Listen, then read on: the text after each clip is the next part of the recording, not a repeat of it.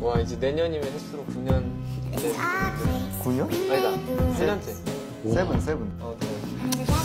참 원석이랑 about 이렇게. 데뷔하게 될 줄은 상상도 못했는데 Have I known you 20 seconds? 20 years. 예스 Can I go 묵묵하게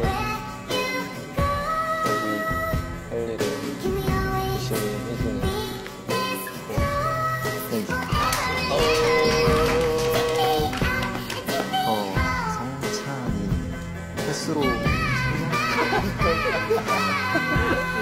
그렇게 함께한 그리고 추억만큼 좋다 너무 좋고.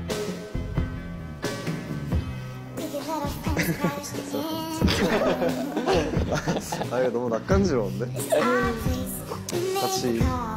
시너지 많이 내줘서 너무 고맙다 to 성찬이 형은